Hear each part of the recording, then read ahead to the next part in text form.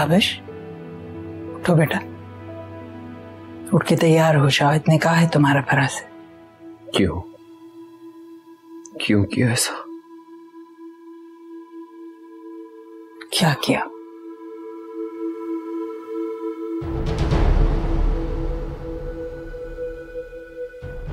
मैं सारी रात बैठ के ये सोचता रहा। क्या मिला आपको ये सब करके? क्या कह रहे हो? क्या किया मैंने?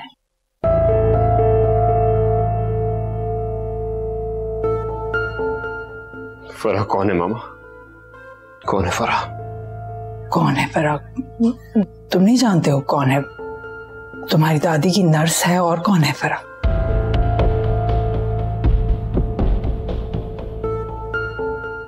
शालम इससे कहिए तैयार हो देखें क्या हुलिया बनाया है इसने। तायरा ये जो भी कुछ कर रही हो ना तुम ठीक नहीं कर रही। क्या मतलब है? अपने बेटे की खुशी के बारे में सोचना कोई गलत बात है? पूछिए इससे।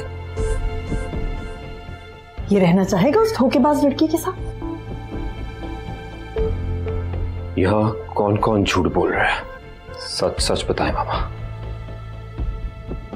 कौन झूठ बोल रहा है? ज़ाहिर है तुम्हारी बीवी झूठ बोल रही है और कौन झूठ बोल रहा है? अगर वो झूठ बोल रही है तो फिर आप बता क्यों नहीं रही कि फरा कौन है? उसका आपसे क्या ताल्लुक है? मैं बताती हूँ। हाँ और कितना झूठ बोलेंगी आप? क्या पक रही हो तुम? मैं जा रही थी, लेकिन मुझे ख्याल आया कि आपको मेरी गवाही की ज़रूरत होगी।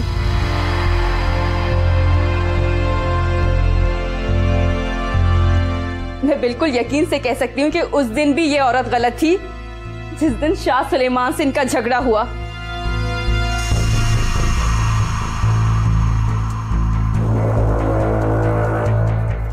ये वो औरत है जो अपने फ़ायदे के लिए किसी को भी इस्तेमाल कर सकती है। क्या पके जा रही हो? ये खाला है मेरी।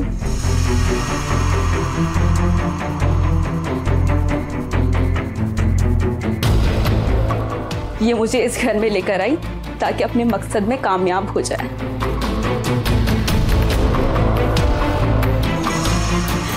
इन्होंने मुझसे कहा कि मैं दादी को कभी भी ठीक ना होने दूँ।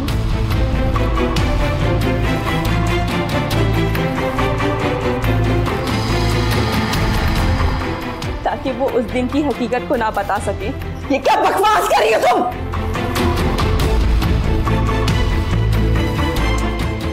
क्या हुआ था उस दिन तायरा? झूठ बोल रहे चाल। आप क्यों गड़े मुर्दे उखेड़ना चाह रहे हैं? इस वक्त तुम झूठ बोल रही हो।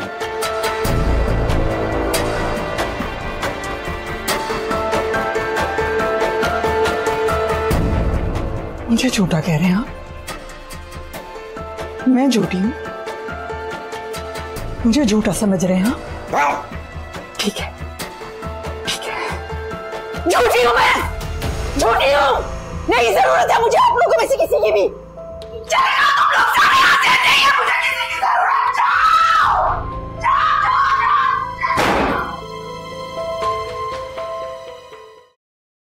ऐसा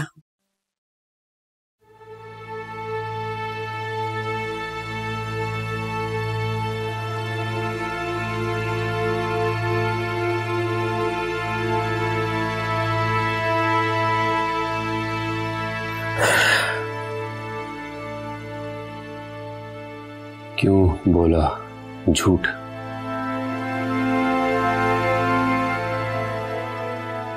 तुमसे बात कर रहा हूँ झूठ क्यों बोला? ताबिश मुझे किसी की कोई बात नहीं सुननी। ना मैं ये जानने आया हूँ कि पहले क्या हुआ था।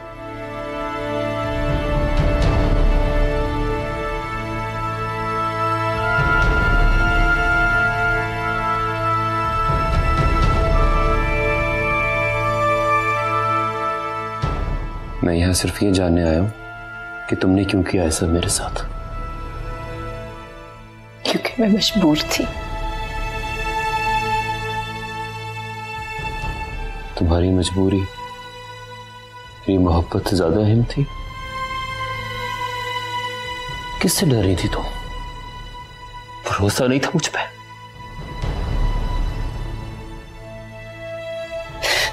नफरत करते थे तुम शाह सुलेमान से। क्योंकि मैं तुमसे मोहब्बत करती, ताबिश तुम्हें खोना नहीं चाहती थी।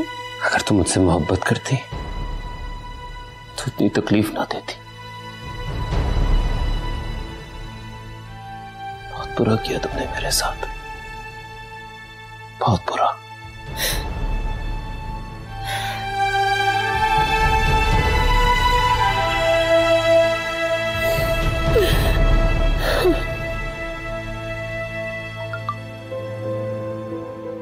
आप भूल जाओ ये सब। भूल जाओ?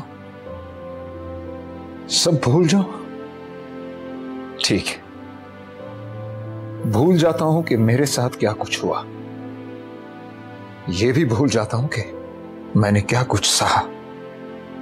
लेकिन एक लाचार, ज़िंदा लाश की तरह इतने साल जो मैंने अपनी बीवी और मासूम सी बच्ची को अजियत में रखा और कुछ ना कर सका। वो वो कैसे भूल जाऊँ?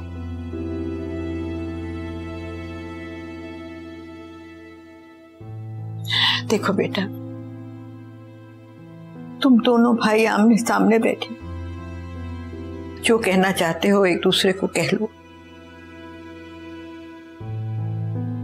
बात करने से अगर मसाइल हल होते तो कब के हल हो चुके होते अम्मा?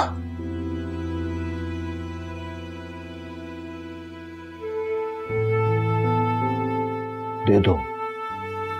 मुझे सजा दो।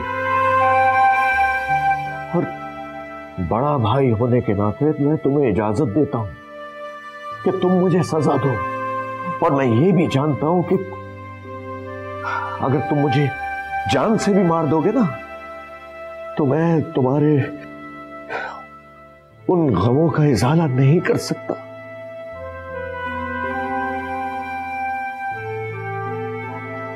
लेकिन मैं तुम्हारा मुजरिम हूँ। मुझे दो सजा। मैंने किसी से कोई बात नहीं करनी। किसी को सजा नहीं देनी। और आपसे माफ़ी भी नहीं मांगनी। सजा तो मैं लेकर ही जाऊँगा। मानी दो मुझे सजा। दो सजा मानी। मैं मानी नहीं। शाह सुलेमान।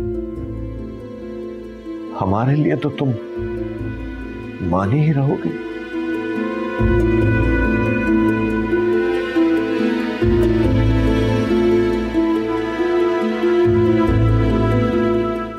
मैं नहीं जानता था कि इतने सालों बाद फिर उसी तरह से आपके सामने बैठूँगा। ये सब कुछ कोमल ने किया वरना मैंने तो कभी वापस ना आने की कसम खाई हुई थी। जैसी ज़िंदगी मैंने गुजारी आलम भाई, अगर मेरी जगह कोई और होता तो शायद झेल ना पाता।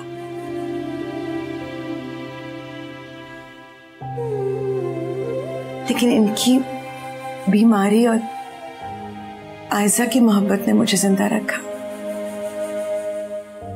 और शायद बदले की उस आग ने जो मुझसे वो सब कुछ करवाती रही जो शायद मुझे नहीं करना चाहिए था।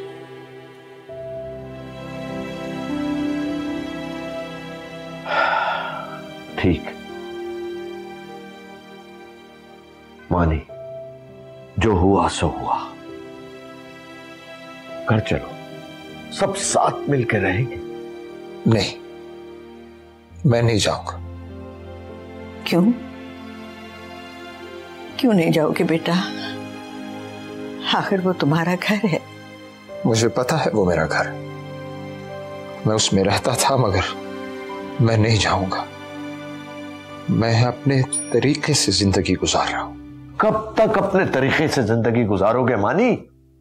चलो घर चलो।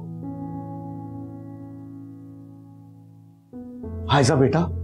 ये बचपन से इसी तरह का जिद्दी है पता नहीं इसकी ये जिद कब खत्म होगी। चलो बेटा, घर चलो। आयजा कहीं नहीं जाएगी। और मैं भी यहीं रहूँगा।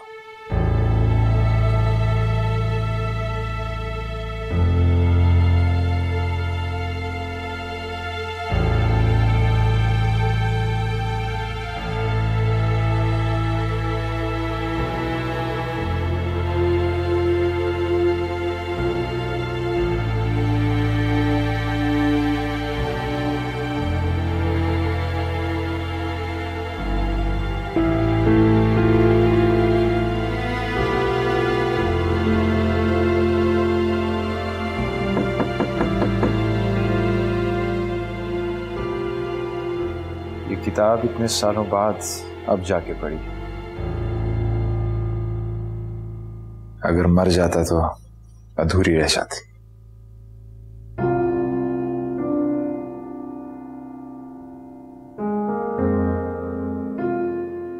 मैं समझा फरीहा है। वैसे फरीहा का नाम पहले कोमल था। सोचा बता दूँ। कहीं ये न सोचो कि ये भी छुपाया था।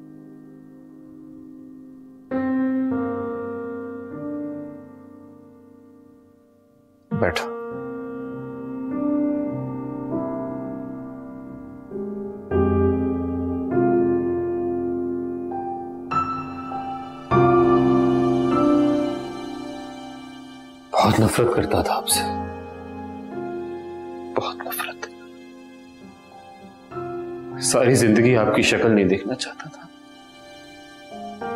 एक बार दादू ने कहा कि मैं बिल्कुल आपकी तरह लगता हूँ। बहुत गुस्से में आ गया था।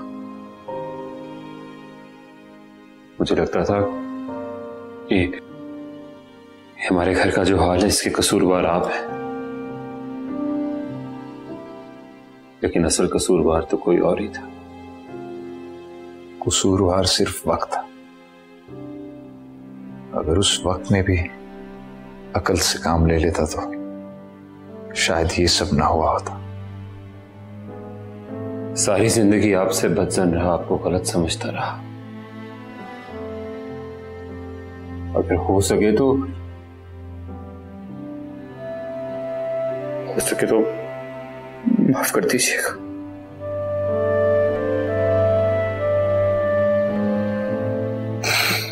तुम गलत नहीं थे।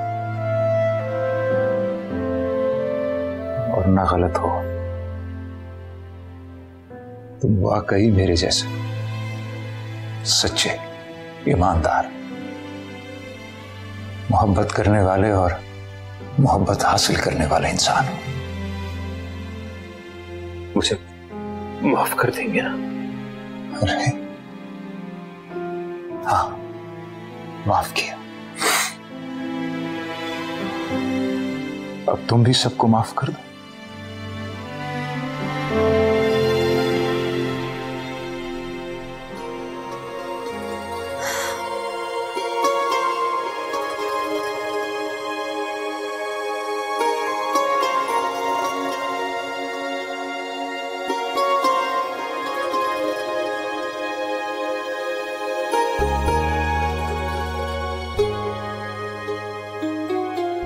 Assalamualaikum, Dad. जीती हो बेटा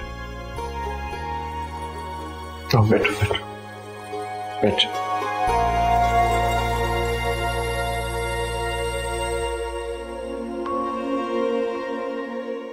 बेटा इधर बैठो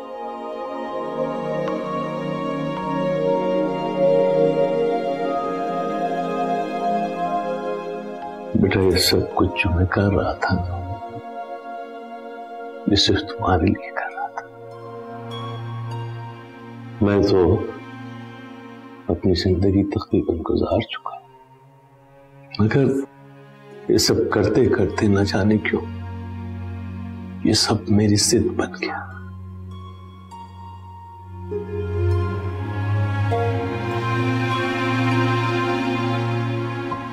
मुझे कुछ नहीं चाहिए, डैड। मैं बस चाहता हूँ कि हम सब एक साथ रहें, एक घर में रहें। मुझे कोई फ़र्क नहीं पड़ता कि घर छोटा हो या बड़ा। बस इतना बड़ा हो कि मुझे अकेलेपन का एहसास ना हो।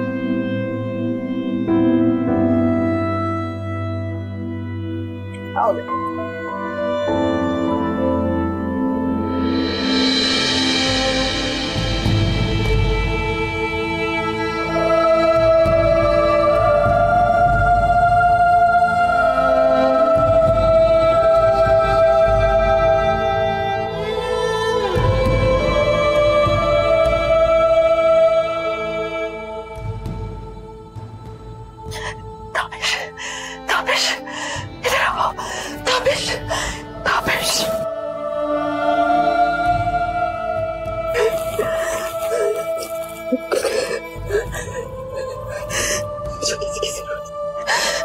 छोड़ के मुझे किसी की ज़रूरत नहीं है मुझे आपको छोड़ के नहीं जा रहे, मैं यही हूँ आपके पास।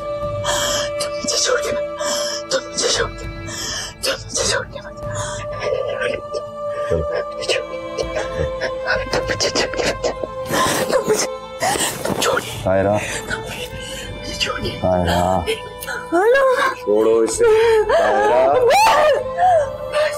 मुझे छोड़ के मुझे छोड़ के ताबिश तुम आराम करो।